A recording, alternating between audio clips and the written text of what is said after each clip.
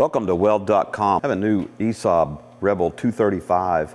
Got a couple programs in here that we've been playing with and I, I've, I thought about something this morning on the way to work and I thought, man, we need to really, need to really kind of explain this. I love the features and the versatility on this machine. What I was thinking about was, uh, I think we did a video here recently where we were, we switched over to 045 diameter wire and we were running C25 on SMIG program. And the SMIG program is uh, you, set your material thickness and you have a wire feed speed. Now I'm curious to see what's going to happen if I switch that over to 95.5 gas, 95% argon, 5% oxygen, which is something that we would normally spray with. I know the machine has guts enough to, to switch over and we'll spray with it. I haven't yet, but I'm just real confident that this machine will handle it, even on the 045 wire. So what I want to do is I want to hook up the 95.5 gas. I'll probably be running about uh, 25, 30 cubic feet per hour. I want a little bit more gas around this weld. So I want to tack up some 3 8 plate and I want to pull the trigger on SMIG with it turned up all the way the 250 inches a minute max is what it runs on. I am curious to see what the machine will do and what the reaction is. This particular weld right here that I'm looking at is the 045 SMIG with C25 gas, 25% argon, I mean, I'm sorry, 75% argon, 25% CO2. So I'm thinking, you know, if it doesn't try to bump itself over up into the spray, whatever's going to happen, I'm thinking it might come out pretty close to this. And then I want to step over and I want to change this back over to straight MIG and I want to adjust my voltage and my wire feed speed as I normally would as I would set the machine up for spray. I'm guessing You know, I think I'm thinking the numbers that I want to go to right away on 045. I just want let's go 27 and a half volts, 27 and a half volts, and I'll try in and around uh, 375 inches per minute on the wire feed speed. So let me get my uh, safety glasses on, get dressed, and I'll be right back. Welcome back. I uh, tacked these up on the backside here. Again, I'm running on the uh, SMIG side of this, 250 inches a minute, 3 8 plate. It only goes to 3 16ths. Again, experimenting here to see what's going to happen with an arc feature and the uh, uh, features in the, the bead size and whatnot, but I'm running on 95.5 gas. So let's pull the trigger. I'm going to use probably, uh, for this, I'll probably be straight in, maybe slightly push, but let's see, let's get going here.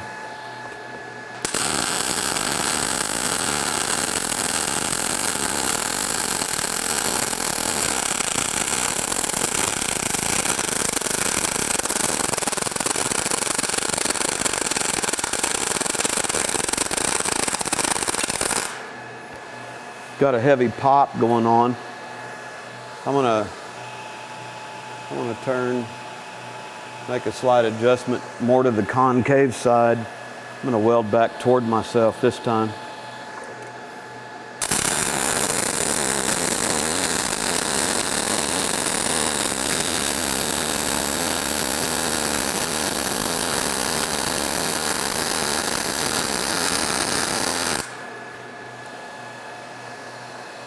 Convex, good shape. I mean, it sounded okay, but you know, if we're that close and we have 95.5 gas on, why don't we just go ahead and spray? This is nowhere near spray. As a matter of fact, voltage said 16.2 and the amperage said 221. I need to change this machine. I want to spray, okay? And I know that I know that big boy here is going to handle it. So I'm going to come over here and go from SMIG up to regular MIG. I'm going to go 27 volts, 390. I think I want to go 400 on my inches per minute. Come on, go to 400. Thank you. Um, I think I want to try it right here. 27 volts, 400 inches a minute, 95% argon, 5% oxygen. I'll do this weld half and half. I want to push this away from me for the first half of the weld or so. I'm going to go about 10 degrees forward. The second part for camera angle, I want to uh, I want to pull it back toward me here. Same same lead angle and everything. All right, let's have some fun. Let's dance here.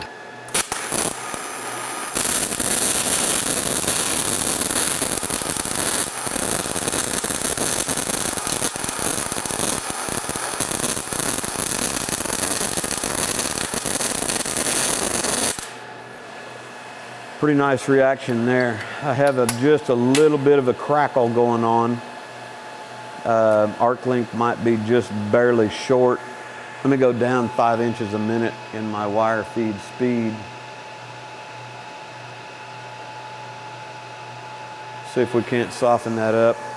Get rid of that part of it. As I was looking at the uh, arc, this wire just turns into a needle right as that enters the arc stream.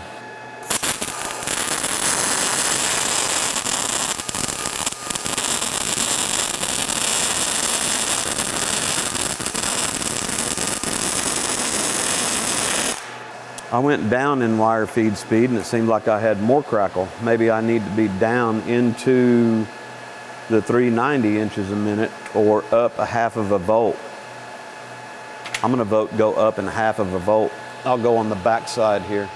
I do want to cool this off so I'm not, it's a fairly small part, fillet weld on 3 8 plate. I'm gonna go up in a half of a volt and I'll, I'll leave it at 395 inches a minute. I'm gonna cool this off, I'll be right back.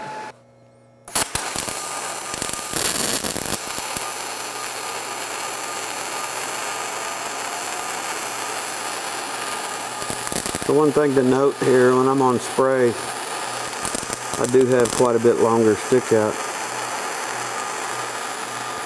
About 5 eighths, 3 quarters.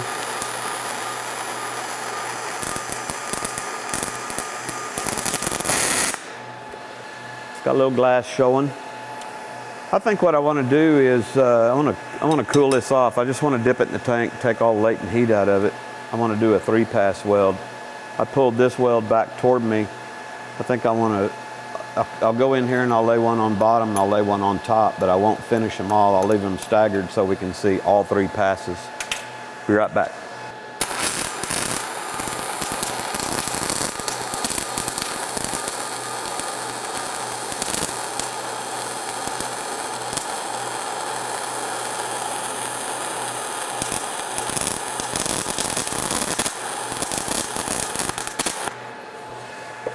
Uh, that there at the tail end was me. I always keep too light of a pressure on the trigger here. Go one more and see what happens.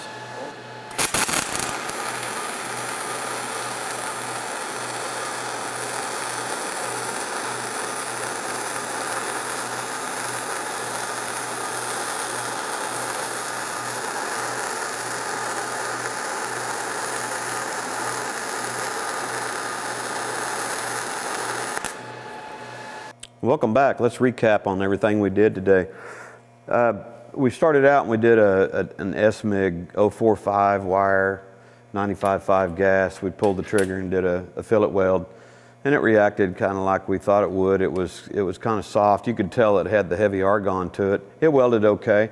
We went ahead and switched on up into the spray mode and ran 27, 27 and a half volts and 390, 400 range in our wire feed speed. We did the uh, single spray pass in the, in the center here and we stacked two more just to show a little buildup. Could we have gone higher? Sure. Uh, you know, the machine goes to 30 volts, 700 inches a minute on wire feed speed. I don't want to run 700 inches a minute. It's too high for an 045 wire to get the right combination of voltage and amperage and your arc length and uh, get the right spray. But we could have gone up a little bit, and I know some people run a little hotter. I like to run hotter, depends on the weld we're doing, but uh, you know, we got to guard against undercut and get our bead, bead profile blended together. Somebody, uh, I, I, I, remember this here recently. I think I was reading a viewer comment, and somebody wrote, "Does he spray in the vertical does he spray? I'm assuming that means me. I had to I had to answer to this particular person. No, I do not spray in vertical. You're more than welcome to try. I won't do it. I'll spray in the overhead, believe it or not. I've done that numerous times. There's a there's a gun angle and a travel speed that you can hit pushing your electrode or your wire forward, believe it or not. It's like a surface tension or magnetism and you can get a fillet weld to stick overhead with spray. Anyway, uh, good machine, good arc features. Um, I kind of noticed a little bit in an output setting. I don't know if it's an issue. I'll have to run a bunch more and kind of go through some ranges to see what's happening here. But again, wow, I mean, we can run 023 wire on sheet metal, 030, full range of 035. You can spray on anything, even the 045. We haven't even run flux core yet, so that'd be, maybe that's our next video, I don't know. I hope this helps. Thanks for watching weld.com. Make sure you subscribe to the videos. New videos come out every Monday. Thank you.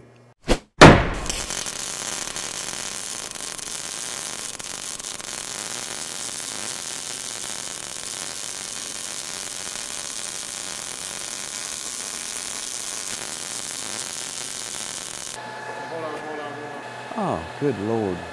Where were you on that one?